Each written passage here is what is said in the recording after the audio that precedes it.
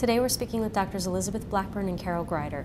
Dr. Blackburn is the 2010-2011 president of the AACR and the Morris Herzstein Professor of Biology and Physiology in the Department of Biochemistry and Biophysics in the University of California, San Francisco. Dr. Greider is the Daniel Nathans Professor and Director of Molecular Biology and Genetics in the Johns Hopkins Institute of Basic and Biomedical Sciences. Dr. Blackburn and Dr. Greider are the recipients of the 2009 Nobel Prize in Physiology or Medicine for the discovery of how chromosomes are protected by telomeres and the enzyme telomerase. Thank you for joining us.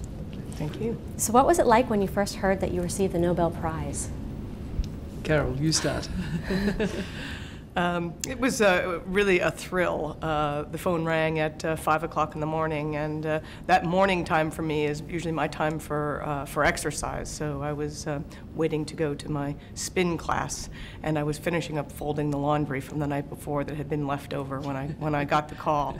Um, and so I had to put off my, my spin class that day because a lot of other things happened. and then shortly thereafter, I got a call from Liz. I knew I had to get my call into Carol quick because her phone lines were going to be swamped. And uh, I too was woken up, but it was even worse in terms of earliness because I was not awake. I was, uh, it was 2 a.m. and uh, my husband and I both groping for the phone and, uh, and uh, both thinking that my 95 year old uh, mother in law might have had something happen because we just finished our weekend family get together to celebrate her birthday. So that was in my mind anyway, so I could tell you the news was so much better. And, uh, and uh, I was very kindly advised by the uh, Karolinska Committee chair to, as he said, I'd advise you to have a cup of coffee. he was so right. what was it like when you were working together and when you made this discovery?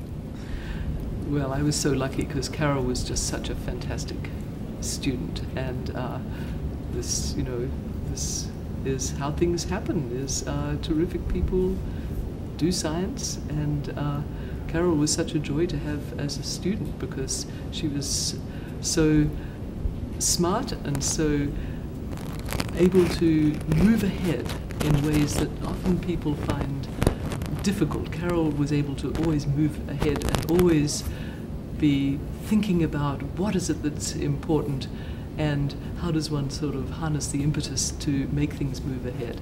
So it was a total joy having Carol as, as a student, and I think we probably talked almost every day mm. and really enjoyed this very collaborative, interactive uh, thing. It, it, was really fun. It was like solving a puzzle, you know, coming in.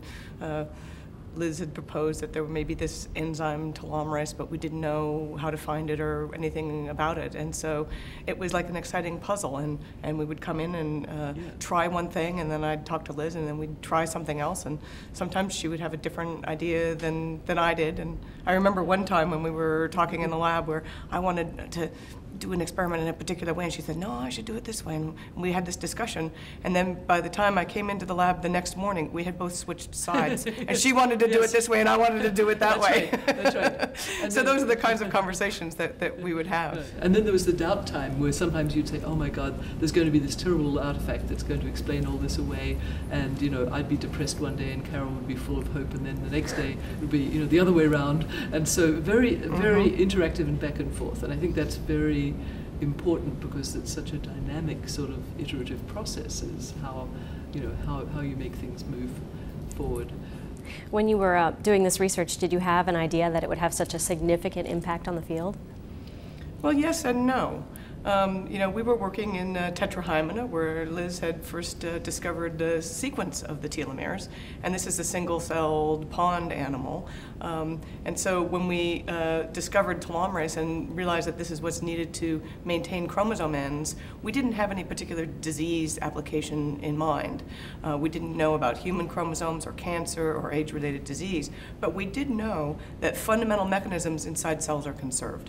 So on the one hand, we knew it was really important, but we didn't know what those implications exactly would be. Yes, yeah, and the obscure biological system was chosen because it had these experimental advantages but we never thought of it as being something off the planet, you know, that wasn't going to relate to the rest of um, organisms. Because I think the culture, especially in molecular biology, had really become to recognize that the fundamental principles, both molecularly and as we know in lots of ways for cells, really held across all sorts of different organisms. You just dived into whatever system would let you have the experimental advantage. But, you know, I I, I, mean, when Carol found the first really clear visual evidence of telomerase, she'd already seen her data and knew it was big. And as soon as she showed this data, I had this, I know this is big sense. You mm. know, there was something important there. And then, of course, we had to dive in and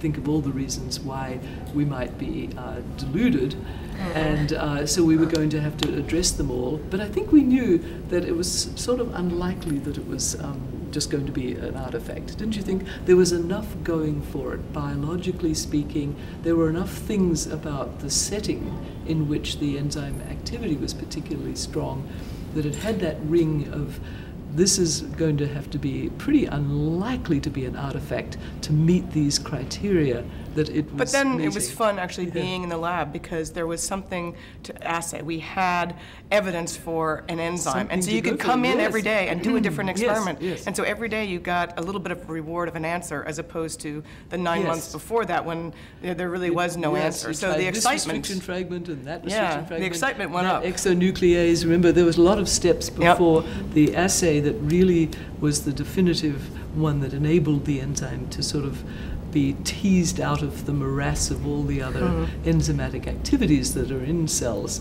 and this was the one that sort of lured it out, right? yeah and then and then we got to participate in you know later on in the you know following our curiosity to find out well what are the implications so we didn't yes. know what the implications were then but of course that then became a question for us and so then we asked what happens if you don't have telomerase and Yes, that then yes. led us to the cancer question and, and Yes. the role of, uh, of telomeres in cancer so it's, it was sort of a, Yeah. a progressive uh, path What if happens if you have too much telomerase, which is what cancer cells as it started to emerge, you know, in the decade after we first, first, very first got the activity evidence, right? And then the following decade, in the early 90s, it really started emerging. This was being a pattern in human cancers.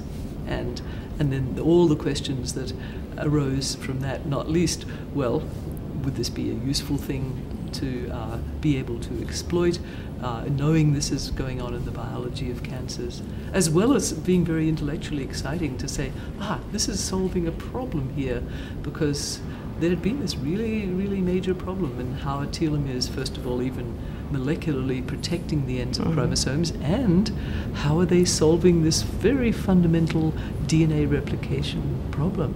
So it was great fun because it had these different sort of key aspects to it Mhm. as a question, and then more and more you could see the you know relationship to what's going on in cancer. So, what do you see as the future of telomere research? Well, you know, every time we uh, answer a particular question that we set out, we're going to try and understand one aspect of telomeres, a number of other questions open up. Um, and, you know, I wouldn't have known that I would be working on today if you'd asked me six years ago, you know, what are you going to be working on? Yes. Because the field just keeps changing. Um, but there are still really fundamental questions. You know, we know that telomeres are involved in um, allowing the continued growth of tumor cells, and they're also um, essential for uh, normal cell division, and so there's this link to age-related diseases. So both of those disease aspects um, are very exciting, and there are still many fundamental aspects of the actual telomere itself. What are the proteins? Where do they interact? Uh, who touches who in terms of the uh, the molecules and when that are going to be dynamically and- and too. exactly. right? Uh, dynamics of it. And really- those are going to be yeah. relevant to all of these Yes. disease questions. So Yeah. the disease questions are very interesting, but there's still a lot of fundamentals. I would say there are more questions now than when we set out to look Yes. at telomeres. But that's the way research is. You have to ask the question in a very kind of almost blinded way. You have to laser like focus on things, Mm-hmm. knowing that, of course, there's going to be complexity. But first of all, you have to kind of just focus right in. And then when you've got something solid, right, or concrete, then you can start adding the, letting the complexity come in. But again, you can't be overwhelmed by the complexity. You have to sort of now say, well, I'm going to ask about the complexity in a certain way. And again, uh, you know, that will take you a certain distance, and then you say, well, okay, now I have to think of these other aspects. I mean, I love the idea of bringing very exciting, new, cutting edge technologies to, you know, the, the dynamics of how telomeres work. It's nothing in a cell is static. Mm-hmm. Telomerase is not static. You know, we think of it mentally in terms of static things, because that's what we have our hands on with the current and older technologies. But now the technologies are moving. We can now ask the questions in whole different ways and bring clinical um, collaborations in, as both of us have done. Mm-hmm. And we've loved that aspect of now bringing, you know, our basic science, their clinical. Uh, you know, depth of understanding of what goes on and, and having that exciting intersection. At the interfaces where new yeah. things Somebody uh, said are really sparks discovered. fly at interfaces. I love Mm-hmm. that, right? Mhm. but I mean good sparks, not bad sparks. Doctors Blackburn and Greider, thank you so much for joining us. Thank you. Thank Great you. to be here.